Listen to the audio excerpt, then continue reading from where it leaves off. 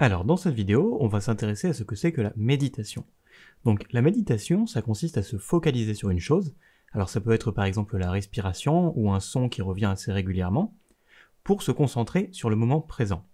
Donc contrairement à l'hypnose, la méditation, elle peut se pratiquer seule, ou également être guidée par par exemple une application sur son téléphone ou sur son ordinateur, mais l'idée principale de la méditation, c'est tout de même de le faire seul pour se concentrer véritablement sur soi-même et sur le moment présent. Et historiquement, à l'origine, la méditation, c'était une pratique religieuse. Donc, suivant les religions, il y a des formes plus ou moins euh, similaires à ce que l'on appelle aujourd'hui la méditation, mais néanmoins, c'est vraiment quelque chose que l'on retrouve dans la pratique de nombreuses croyances. Maintenant, la méditation est également utilisée dans la médecine alternative, et puis plus généralement, dans tout ce qui concerne le bien-être. Et le point commun avec toutes ces formes de pratiques, donc que ce soit dans une pratique religieuse, dans la médecine alternative ou plus généralement dans le bien-être, c'est de se libérer l'esprit. Donc soit se libérer l'esprit dans un contexte de prière, ou plus généralement, comme c'est utilisé actuellement, se libérer l'esprit pour vraiment avoir une sorte de sensation de calme, de sérénité. Néanmoins, les bénéfices de la méditation ne se réduisent pas simplement au fait de se libérer l'esprit, il y a également d'autres bénéfices et il y a de nombreuses études qui sont en cours, puisque la méditation, ça permet également de réduire la pression artérielle,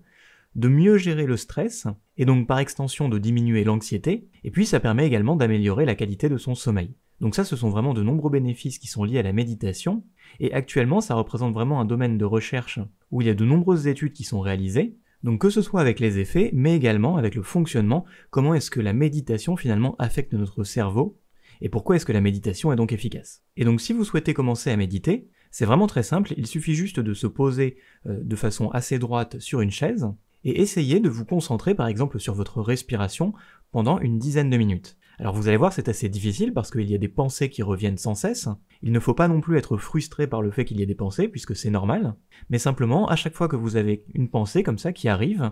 et qui vous distrait, eh bien tentez de retrouver votre focalisation sur votre respiration, et donc essayez de faire ça de manière assez paisible pendant 10 minutes. Et si vous souhaitez être davantage guidé, je vous propose d'aller voir dans la description de la vidéo, euh, je vais mettre quelques liens d'applications sur téléphone. Donc voilà, on en a terminé avec cette petite présentation de la méditation, j'espère que ça aura pu vous intéresser. Si c'est le cas, n'hésitez pas à laisser un j'aime et à vous abonner, et puis on se voit dans une prochaine vidéo.